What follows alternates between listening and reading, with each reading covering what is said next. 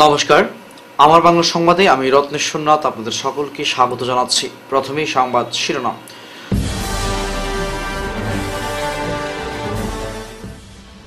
যোগাযোগহীন কাঠল জিপির মেরুয়া গ্রান্ট বুট বয়কটের হুমকি।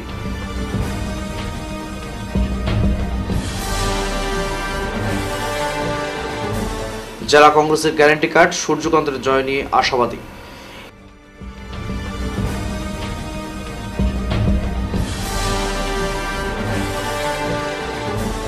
ঈদ উপলক্ষে রামনগরে খাদ্য সামগ্রী বিতরণ উদ্যোগী রোটারি ক্লাব।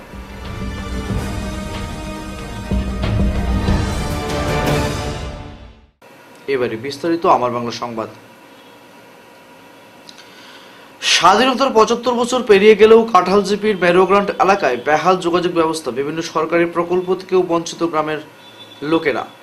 প্রত্যন্ত গ্রামটির উন্নয়নে এগিয়ে আসেননি কোনো নেতা, মন্ত্রী, বিধায়ক ও পঞ্চায়েত কর্মকর্তা রাস্তাঘাটের অভাবে গ্রামের হাজার দুয়েক জনগণের আর্থসামাজিক অবস্থা শূন্যের কোঠায় রয়ে গেছে।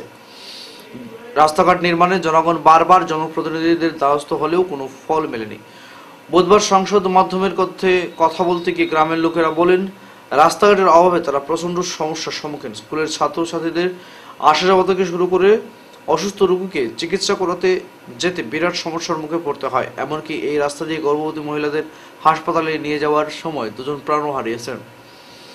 শহরের সঙ্গে যাতায়াত করার জন্য রয়েছে একটি নদী, কিন্তু সেই নদী দিয়ে পারাপার করার সুযোগ নেই।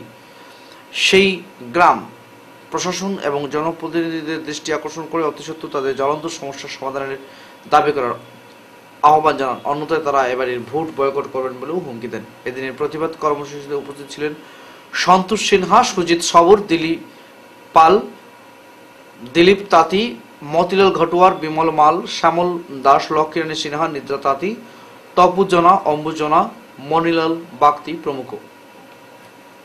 আমরা কি রকম চলবো? আমরা কাকে ভোট দিব? ভোট দিয়ে আমরাকে যন্ত্রণা করে ঠকে ঠকে ভোট নিয়ে বাক চলিয়ে মন্ত্রী হয়ে ঘর করছে, আর আমরা যন্ত্রণায় মরছি। জিনিসের দাম তো পাতাল পুরাল হয়ে গেছে। রাস্তা নাই, একটা বেমারি মরে গেলে বেমার হলে আমাদের যাতে যাতে ছিংড়া দল যাতে যাতে মারা যায়। আপনারা এখানে ভোট দিতে আসবেন, আমরাও দিব। বাকি আমাদের, আমরা মানুষ আছি না, গরু আছি না, পশু আছি। আমরা আজকে এই দুই নম্বর ওয়ার্ড মেরুয়া দুটা সেন্টার আছে। আমরা ভোট বয়কট করব। পনেরো তারিখের ভিতরে আমাদের রাস্তা না হলে আমরা মিথ্যা কথাই চলবো না। কারণ মিথ্যা কথা বলে বলে দুই হাজার এক হইতে আজ চব্বিশ হয়ে গেছে। কিচ্ছু কাজ হয় না। কাহা গলি গলি শহর হয়ে গিয়া। কাহা গলে গলি নাই। পাইপ ফাটা কারেন্ট হলে পাঁচ মিনিট থাকে না। কারেন্ট নাই। দুর্দশা। দুর্দশায় জীবনযাপন করিয়াছি আমরা। এই মেরুয়া অঞ্চল, মেরুয়া গ্রান্টে। সিংরাইটল টু, মেরুয়া কলাবাড়ি। আমরা খাস কলোনি এলগিন সহ আমরা বড় মানুষ আছে, কিন্তু দশ হাজারের হইতে ভোট আছে। বাকি ভোট নিবার সময় আসে। তার পিছিয়ে ভোট লয়ে গেলে কেউ আসে না। এর লাগে আমরা ভোট বয়কট করব। ইতিমধ্যে আমরা এই জবাব চাই। সরকারের কাছে জবাব চাই। এই বলে আমার বক্তব্য শেষ করলাম। মানুষের কাজ কাজ বন্ধ হয়ে কাজ কাম সব। বাচ্চা কাচ্চা স্কুলে যাইতে পারে না। কয়টা বাচ্চা মরছে স্কুলে যাইতে? হ্যাঁ, দিতে। মরছে স্কুলে যাইতে বাসের পুল থাকি পড়িয়া। কত মন্ত্রীরা কথা দিছে কথার দাম রাখে। ভোট নিবার সময় সবে আয়া যে আমরা রাস্তা বানাই দিব আমরা রাস্তা বানাই দিব আমরা ভোট দেও। আমরা ভোট দিছি বিশ্বাস করিয়া। বাকি ভোট নেওয়ার পরে আর এই মেড়ুয়া বাগানের কেউ খবর বাঁচে না বাঁচে এটা কেউ নিখিল ভারত কংগ্রেস কমিটির পক্ষে প্রকাশিত দলের গ্যারান্টি কার্ড বুধবার জেলা স্তরে আনুষ্ঠানিকভাবে প্রকাশ করা হয়। দলীয় কার্যালয়ে আয়োজিত এক সাংবাদিক সম্মেলনে বক্তব্য রাখতে গিয়ে জেলা কংগ্রেস সভাপতি অভিজিৎ পাল জানান, আসন্ন লোকসভা নির্বাচনের পাঁচ মুহূর্তে পাঁচটি ন্যায়ের উপর জোর দিয়ে যুবনেতা রাহুল গান্ধী দলের গ্যারান্টি কার্ড প্রকাশ করেছেন। দেশে ইন্ডিয়া জোট ক্ষমতায় এলে যুব ন্যায়, মহিলা ন্যায়, কৃষকের ন্যায় এবং শ্রমিকের ন্যায় ও অংশীদারত্বের ন্যায় দেশের জনগণের স্বার্থে উৎসর্গিত করবে। দলীয় প্রার্থী সূর্যকান্ত সরকারের সমর্থনে জনগণকে সহায়ক হওয়ার আহ্বান জানিয়ে অভিজিৎ জানান, সুস্মিতা দেব আজকের দিনে দেশের রাজনীতিতে অপ্রাসঙ্গিক হয়ে পড়েছেন। যেদিন তিনি তৃণমূলে যোগদান করেছেন, সেদিন থেকে তৃণমূল কংগ্রেসের ভরাডুবি হয়েছে। পশ্চিমবঙ্গের বাইরে দেশের অন্যান্য রাজ্যে তৃণমূলের অস্তিত্ব নেই। সেই সুস্মিতার রাজনৈতিক প্রশ্নের উত্তর দেওয়াটা প্রয়োজন মনে করছেন না কংগ্রেস দল। সুস্মিতাকে দলের হয়ে আগামীতে নিজের পাড়া থেকে পুরসভা নির্বাচন জিতে আসার চ্যালেঞ্জ জানান অভিজিৎ।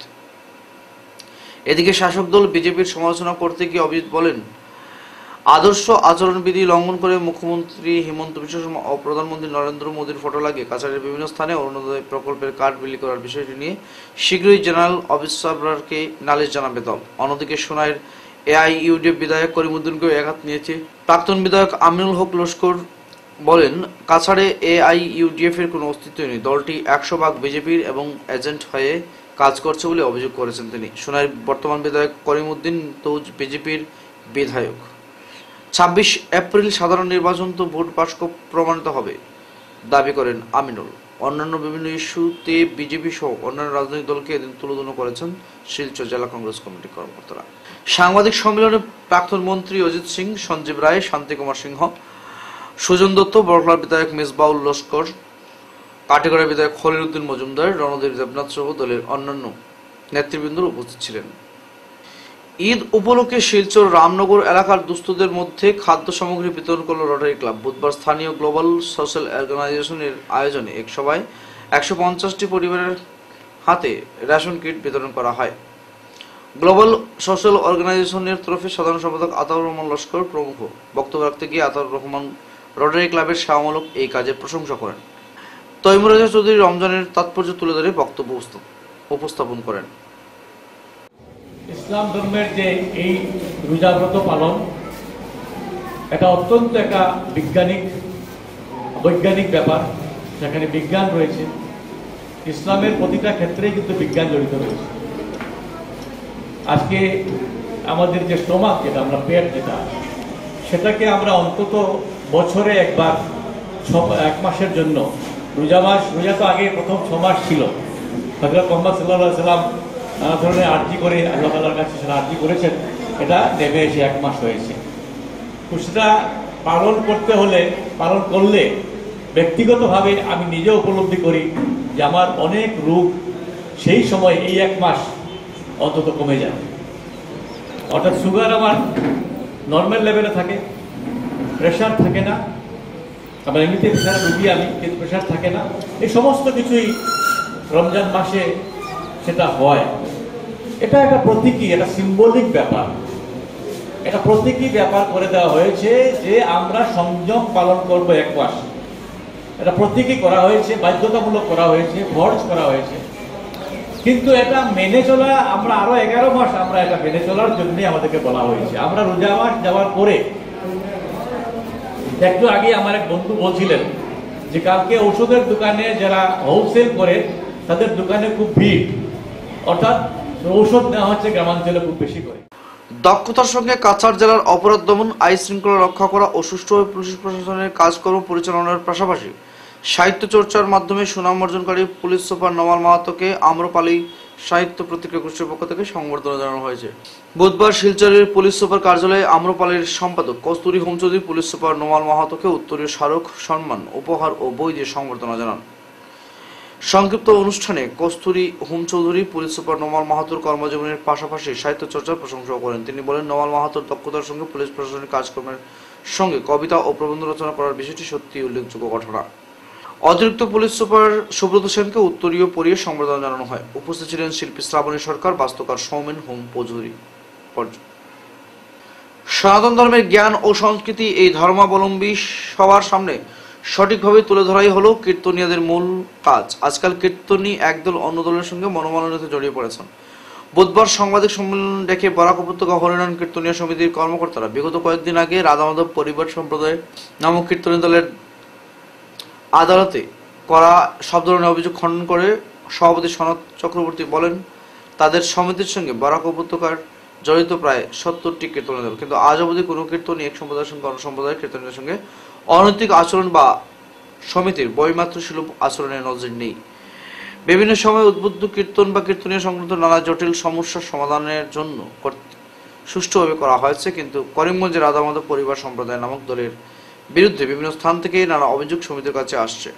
ছোটখাটো অভিযোগ প্রাথমিক আলোচনার মাধ্যমে সমিতি মীমাংসা করার চেষ্টা করে, কিন্তু মধ্য আসামের এ কীর্তন প্যান্ডেল থেকে ওই দলের মালিকের মেয়ে রিমা দলের এক শিল্পীর সঙ্গে পালিয়ে যায়। এ বিষয়ে মামলাও রুজু করা হয়েছে। বিষয়টি নিয়ে বিভিন্ন মহল থেকে সমিতির কর্মকর্তাদের কাছে অভিযোগ আসতে থাকে। ভক্তি জগতে যুক্ত অনৈতিক কর্মকাণ্ডে লিপ্ত হওয়া শুধু ব্যক্তি বিশেষকে নয়, সংশ্লিষ্ট কীর্তন সমিতি সহ ভক্তি মার্গের অনুসরণকারীদেরকেও কলঙ্কিত করে। রাধামাধব পরিবার সম্প্রদায় ভক্তি জগৎকে কলঙ্কিত করেছে। তাদের স্বাস্থ্যের প্রয়োজন রয়েছে। পরবর্তীতে এই রাধামাধব পরিবার বরাক উপত্যকা হরিনাম কীর্তনীয় সমিতির উপর করিমগঞ্জ আদালতে মামলা দায়ের করেছে। এই মামলা সম্পূর্ণ ভিত্তিহীন বলে জানিয়ে দেওয়া হয়। এদিন অন্যদের মধ্যে উপস্থিত ছিলেন সম্পাদক কনক দাস, কার্যকরী সভাপতি মনোজিৎ দে প্রমুখ। দুই বছর থেকে দেখা যাচ্ছে যে ওই যে রাধামাধব সম্প্রদায় পরিবার রাধামাধব পরিবার সম্প্রদায়, এটা একটা নির্দিষ্টভাবে চলাফেরা করছে। যা কীর্তন জগতে এটা মোটেও সাজে। যার জন্য মানে অনেক অনেক কঠোর শাস্তি দেওয়ার আমরা উচিত। ছিল কিন্তু আমরা তাও করি না যেহেতু হরিনাম কীর্তন সংকীর্তন করব। তথাপি আমরা তাদেরকে অনুরোধ করছি অনেকবারই তারা কিন্তু আমাদের সঙ্গে বসার কোনো আলোচনা আসে না কিন্তু তারা তার মধ্যে চলে। এইভাবে তো কীর্তন জগৎ চলে না এর ঊর্ধ্বে কিচ্ছু নাই, হরিনামের উপরে কিচ্ছু নাই। যা, এটা বিশ্বাস করে জগৎ সৃষ্টি মানে জগৎ চলছে বরাক বরাকবেলি চলছে, খুব সুন্দরভাবে চলছে। কিন্তু আমরা একটা সমিত বক্তব্য সমিত বক্তব্যভাবে এই বরাকবিলি, ব্রহ্মপুত্র, বা ত্রিপুরা, সমস্ত সমস্ত পৃথিবীতে হরিনাম যেটা চলছে, প্রত্যেকটা সমিত উত্তরভাবে একটা অনুসরণ মধ্যে চলতে চলতে লাগে। কিন্তু তারাই এগুলো নির্দিষ্টভাবে চলা। আমরা কারও কীর্তন বন্ধ করিনি, করব না, কারণ মহাপ্রভু হরিনাম বন্ধ করার অধিকার কারণ। আমরা শুধু এইটুকু বলেছি যে ওরা যেখানে যাবে, এরকম পরিবেশ যদি ওরা ঠিক না করে, তাহলে আমরা যাব না। তো আমরা এইটাই সবার কাছে মানে এটা আমরা প্রার্থনা জানাচ্ছি যে ওরা মিথ্যা যে মামলাটা করেছে, এটার বিরুদ্ধে আমাদের যে কোনো স্টেপ আমরা নিতে, আমরা এটা রাজি আছি, যে কোনো স্টেপ সে কোর্টে যেতে হয় যদি হাইকোর্টে যেতে হয় এমনকি সুপ্রিম কোর্টে যদি যেতে হয় আমরা সুপ্রিম কোর্ট পর্যন্ত যাব। কিন্তু ভক্তির জগৎকে আমরা এরকম নষ্ট করতে দিব না। এটা আমার বিনম্র প্রার্থনা সবার জন্য। যাতে আমাদের ভক্তির জগৎ আমরা যেভাবে মানে বড় গলায় সবার সঙ্গে আজকে আপনারা যারা বিটিএনের থেকে এসছেন আপনারা আমাদেরকে জানেন অবশ্যই জানেন। শেষ করার আগে খবরের বিশেষ বিশেষ অংশগুলো আরও একবার।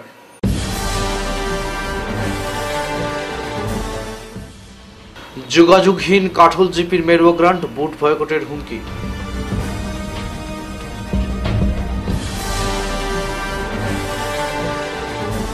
জেলা কংগ্রেসের গ্যারান্টি কার্ড, সূর্যকান্তের জয় নিয়ে আশাবাদী।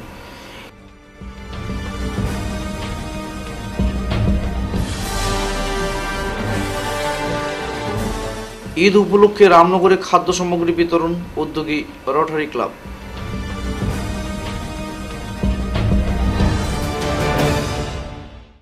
এখনকার মতো আমার বাংলা সংবাদ এ পর্যন্তই। নমস্কার।